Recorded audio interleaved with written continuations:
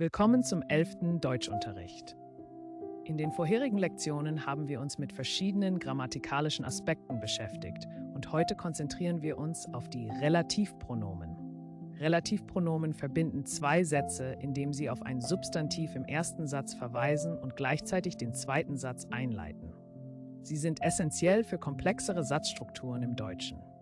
Die wichtigsten Relativpronomen sind der, maskulin, Nominativ, die, feminin, Nominativ, Plural, Nominativ und Akkusativ, das, das, neutral, Nominativ, den, maskulin und neutral, Akkusativ, dem, dem, maskulin, feminin und neutral, Dativ, Plural, Dativ, dessen, dessen, maskulin und neutral, Genitiv, deren, deren, feminin und Plural, Genitiv, welcher, welcher, welches, welches werden verwendet, wenn man eine Auswahl treffen möchte. Die Wahl des richtigen Relativpronoms hängt vom Geschlecht, dem Kasus und dem Numerus des Bezugswortes ab.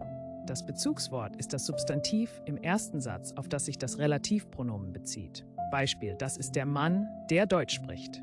Das ist der Mann, der Deutsch spricht. Der bezieht sich auf Mann, maskulin Nominativ. Das ist die Frau, die singt. Das ist die Frau, die singt. Die bezieht sich auf Frau. Das ist das Buch, das ich lese. Das ist das Buch, das ich lese. Das bezieht sich auf Buch, neutral nominativ. Das ist der Mann, den ich kenne. Das ist der Mann, den ich kenne. Den bezieht sich auf Mann, maskulin akkusativ. Relativpronomen leiten einen Relativsatz ein, der zusätzliche Informationen über das Bezugswort liefert. Der Relativsatz kann sowohl vor als auch nach dem Bezugswort stehen. Beispiel. Das Haus, das ich gekauft habe, ist sehr schön. Das Haus, das ich gekauft habe, ist sehr schön. Hier steht der Relativsatz nach dem Bezugswort. Die Übung für heute besteht darin, verschiedene Sätze mit Relativpronomen zu bilden.